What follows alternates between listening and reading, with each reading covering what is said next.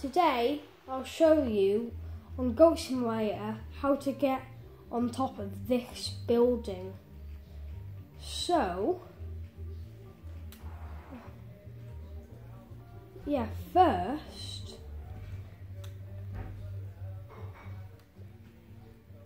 you have to go over here. See right here is a woman. So you actually get launched from that. So you need to go over. Could just do it from there. Or you could go on here. Go to this woman.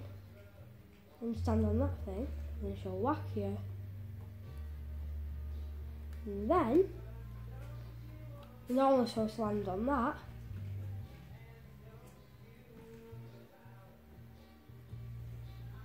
And then after that, onto. Oh no, I just missed. But you'll get launched onto there. Right.